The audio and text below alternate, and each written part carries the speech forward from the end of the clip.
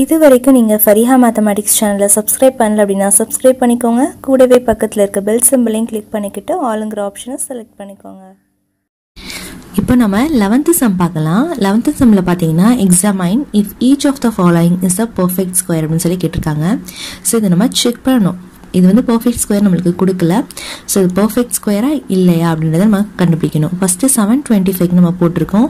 So இதில் பார்த்தீங்கன்னா நம்மளுக்கு ஃபைவ் ஃபைவ் ஒரே ஒரு டுவெண்ட்டி நைன் தான் இருக்குது ஸோ அப்போ root of seven twenty five எப்படி எழுதலாம் அப்படின்னு பார்த்தீங்கன்னா ரூட் ஆஃப் ஸோ இங்கே பார்த்தீங்கன்னா ரூட் ஆஃப் நம்மளுக்கு இங்கே ஃபைவ் ரெண்டு இருக்குது அப்போ ஃபைவ் ஸ்கொயர் எழுதலாம். இங்கே பார்த்தீங்கன்னா டுவெண்ட்டி நைன் மட்டும் தான் வருது.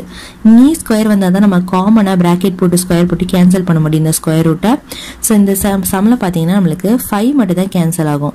ஃபைவ் மட்டும் தனியாக பிரித்தோம் அப்படின்னா ஃபைவ் மட்டும் தான் நம்மளுக்கு கேன்சல் ஆகும். டுவெண்ட்டி நைன் வந்து கேன்சல் ஆகாது. ஸோ இப்படி தான் நம்மளுக்கு வரும். ஸோ இது வந்து not a perfect square okay so இது வந்து no it's not a perfect ஸ்கொயர்னு சொல்லி எழுதியாச்சு. நெக்ஸ்ட் பார்த்தீங்கன்னா ஒன் நைன்ட்டிக்கு நம்ம போட்டோம் அப்படின்னா ஃபைவ் டூ அண்ட் நைன்டீன் நம்மளுக்கு கிடைக்குது. ஸோ அப்போ ரூட் ஆஃப் ஒன் நைன்ட்டிக்கு போட்டோம் அப்படின்னா root of five into two into nineteen நம்மளுக்கு அப்படியே தான் வருது. இங்கே எதுவுமே ஸ்கொயர் நம்பர்ஸ் இல்லை.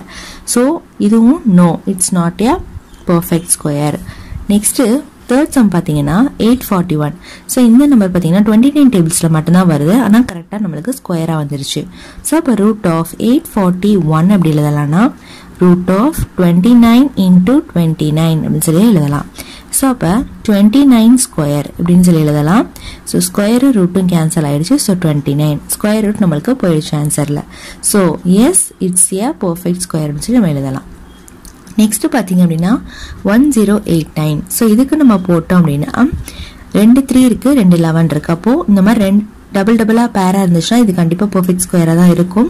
ஸோ இதில் பார்த்தீங்கன்னா ஒன் ஜீரோ எயிட் நைன் இதுக்கு பார்த்தீங்கன்னா root of one zero eight நைனுக்கு பார்த்தீங்கன்னா root of three into three into eleven into eleven அப்படின்னு சொல்லி வரும்.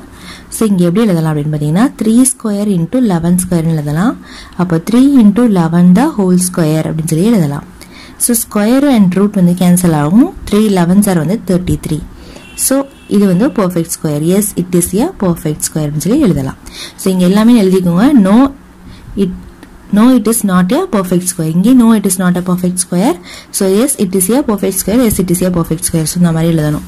ஓகேவா ஸோ அவ்வளோதான் இந்த சம் இதுதான் லெவன்த்து சம்னுடைய உங்களுடைய சொல்யூஷன் ஓகே இந்த வீடியோ பிடிச்சிருந்துச்சு அப்படின்னா கண்டிப்பாக லைக் பண்ணுங்கள் உங்கள் ஃப்ரெண்ட்ஸ்க்கும் ஷேர் பண்ணுங்கள் மறக்காமல் எங்களுடைய சேனலை சப்ஸ்கிரைப் பண்ணிக்கோங்க.